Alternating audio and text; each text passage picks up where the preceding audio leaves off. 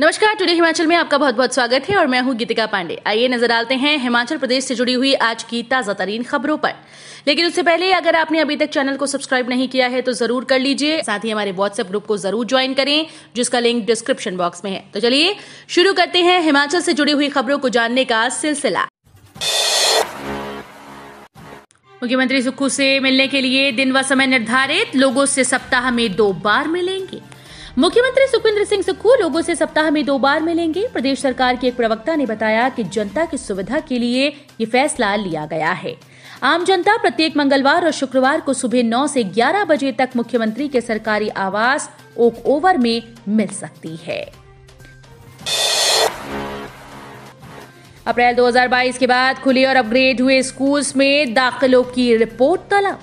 प्रदेश सरकार ने अप्रैल 2022 के बाद खुले और अपग्रेड हुए स्कूल्स में विद्यार्थियों के दाखिलों की रिपोर्ट तलब की शिक्षा सचिव ने दोनों शिक्षा निदेशालयों से सोमवार को ये रिपोर्ट देने के निर्देश दिए शिक्षा क्षेत्र की मजबूती के लिए सरकार पहले चरण में 10 से 25 विद्यार्थियों की संख्या वाले करीब 300 स्कूल बंद करने की तैयारी में है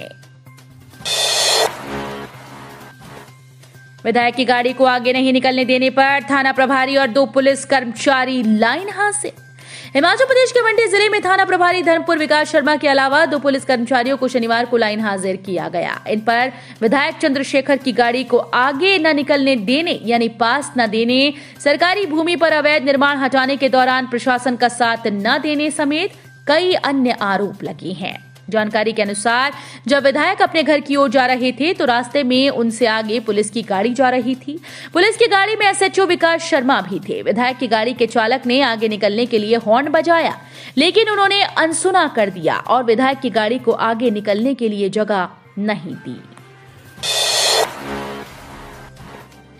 नेता प्रतिपक्ष जयराम ठाकुर का कांग्रेस पर निशाना लोकप्रिय नहीं बल्कि लोकप्रिय है सुखू सरकार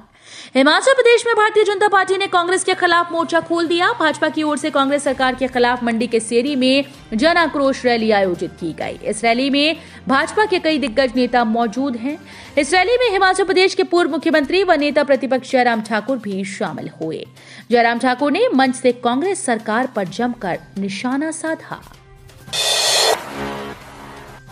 हिमाचल के आठ जिलों में कल से बारिश और बर्फबारी के आसार हिमाचल प्रदेश के मध्य और उच्च पर्वतीय आठ जिलों में रविवार से बारिश और बर्फबारी के आसार हैं पश्चिमी विक्षोभ की सक्रियता से मौसम में बदलाव आने का पूर्वानुमान है पंद्रह मार्च तक प्रदेश में मौसम खराब बना रहने की संभावना है शनिवार को जिला मुख्यालय धर्मशाला में शनिवार दोपहर बाद बारिश और ओलावृष्टि हुई राजधानी शिमला में दिन भर मौसम साफ बना रहा हिमाचल में H three N two influenza को लेकर अलर्ट जारी सभी सीएमओ को दिशा निर्देश जारी हिमाचल प्रदेश में H three N two influenza को लेकर अलर्ट जारी कर दिया गया इस संबंध में सभी मुख्य चिकित्सा अधिकारियों को केंद्र सरकार से भेजे दिशा निर्देश जारी कर दिए गए राष्ट्रीय स्वास्थ्य मिशन के अभियान निदेशक हेमराज बैरवा ने इस बात की पुष्टि की है अग्निवीर भर्ती की प्रवेश परीक्षा के लिए देना होगा ढाई सौ रूपये शुल्क अग्निवीर बनने के लिए इच्छुक युवा बीस मार्च तक ऑनलाइन माध्यम से अपना पंजीकरण करवा सकते हैं पहले चरण में ऑनलाइन प्रवेश परीक्षा कार्यवाही होगी दूसरे चरण में ऑनलाइन परीक्षा में मेरिट में चयनित अभ्यर्थियों को ही भर्ती रैली में शामिल किया जाएगा आवेदन Agniveer general duty clerk store keeper technical tradesman और टेक्निकल पदों के लिए ऑनलाइन किए जा सकते हैं इसके लिए सत्ताईस अप्रैल से चार मई के बीच विभिन्न केंद्रों पर परीक्षा करवाई जाएगी जिन उम्मीदवारों का जन्म एक अक्टूबर दो और एक अप्रैल दो के बीच हुआ है वो भर्ती के लिए आवेदन कर सकते हैं आईजीएमसी टांडा से हमीरपुर नाहन और चंबा भेजे बावन से अधिक डॉक्टर आईजीएमसी शिमला और doctor Rajendra Prasad medical college में स्वास्थ्य सेवाएं चरमरा सकती हैं दोनों मुख्य मेडिकल कॉलेजेस से करीब बावन से अधिक doctor Nahan Hamirpur Chamba medical college भेजे गए स्वास्थ्य सचिव ने इस बाबत अधिसूचना जारी कर दी है एयरपोर्ट विस्तारीकरण के विरोध में फूका सुधीर किशन का पुतला नारेबाजी गगल एयरपोर्ट के विस्तारीकरण को लेकर इच्छी के ग्रामीणों ने शनिवार को धर्मशाला के कांग्रेस विधायक सुधीर शर्मा और कांगड़ा चंबा के भाजपा सांसद किशन कपूर का पुतला फूका दोनों नेताओं के खिलाफ जमकर नारेबाजी भी की गई समाज कल्याण कमेटी के अध्यक्ष रजनीश मोना सहित ग्रामीणों ने कहा कि एयरपोर्ट विस्तारीकरण के पक्ष में वही नेता बयानबाजी कर रहे हैं जिनके धर्मशाला मैकलोडगंज और साथ लगते इलाकों में निजी होटल हैं सुखू बोले जुलाई 2025 तक पूरी की जाए साढ़े चार सौ मेगावाट क्षमता की शोंग टोंग जल विद्युत परियोजना मुख्यमंत्री सुखविंद्र सिंह सुक्खू ने साढ़े चार सौ मेगावाट क्षमता की शोंगचोंग जल विद्युत परियोजना को जुलाई 2025 तक पूरा करने के निर्देश दिए Himachal Pradesh power corporation limited की समीक्षा बैठक की अध्यक्षता करते हुए मुख्यमंत्री ने कहा कि इस परियोजना के लिए वर्ष 2012 में निविदा जारी की गई थी विभिन्न कारणों से इसके निर्माण कार्य में विलंब हुआ है बाग मेले के तीसरे दिन रामपुर में एक हजार महिलाओं ने डाली महानाटी जिला स्तरीय बाग मेले में शनिवार को एक हजार महिलाओं ने महानाटी डाली इस अद्भुत नजारे को देखने के लिए क्षेत्र के सैकड़ों लोगों की भीड़ उमड़ी महानाटी में रामपुर उपमंडल के अंतर्गत सत्तर महिला मंडलों की हजार सदस्यों ने भाग लिया अनियंत्रित होकर सौ फीट गहरी खाई में गिरी कार तीन बच्चों सहित पांच घायल हिमाचल प्रदेश के कांगड़ा जिले में बैजनाथ के ताशी जोंग के समीप पालमपुर से पपरोला की तरफ आ रही कार अनियंत्रित होकर पैराफिट तोड़ते हुए सौ फीट गहरी खाई में गिर गई हादसे के दौरान कार में एक दंपति और तीन बच्चे सवार थे सभी को उपमंडलीय चिकित्सालय में उपचार के लिए भर्ती किया गया है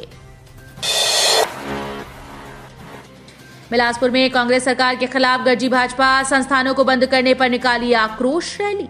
पूर्व सरकार के कार्यकाल में खोले गए सैकड़ों विभिन्न विभागीय दफ्तरों और संस्थानों को वर्तमान सरकार द्वारा बंद किए जाने के विरोध में भाजपा ने शनिवार को बिलासपुर में आक्रोश रैली निकाली इस आक्रोश रैली में पूर्व मुख्यमंत्री जयराम ठाकुर ने मुख्य वक्ता के रूप में शिरकत की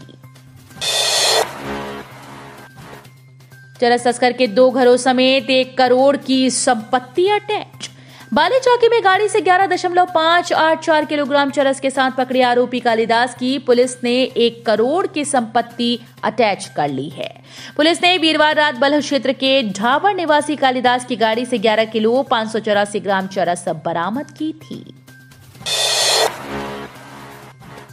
जेबीटी शिक्षकों के छियालीस पदों के लिए काउंसलिंग में पहुंचे चार अभ्यर्थी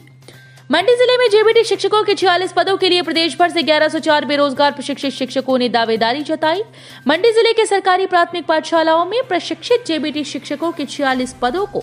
बैच वाइज भरने के लिए शनिवार को प्रारंभिक शिक्षा विभाग मंडी के उपनिदेशक कार्यालय में काउंसलिंग आयोजित की गई जर्जर मकान से किराएदार को निकालने के लिए भवन का नक्शा पास करवाना जरूरी नहीं हाईकोर्ट ने महत्वपूर्ण व्यवस्था देते हुए स्पष्ट किया है कि जर्जर मकान से किराएदार को बाहर करने के लिए जरूरी नहीं है कि पहले मकान मालिक भवन निर्माण का नक्शा पास करवाए न्यायाधीश विवेक सिंह ठाकुर ने किराएदार द्वारा बेदखली आदेशों को चुनौती देने वाली याचिका को खारिज करते हुए ये फैसला पारित किया